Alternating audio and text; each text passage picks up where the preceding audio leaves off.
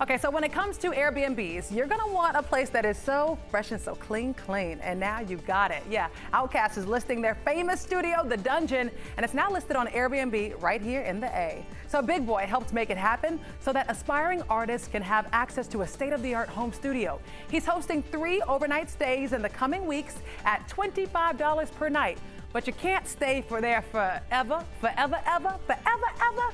It's all in honor of Black Music Month and for the 25th anniversary of Outkast's release of AT ATLiens. And you can find out more on 11alive.com.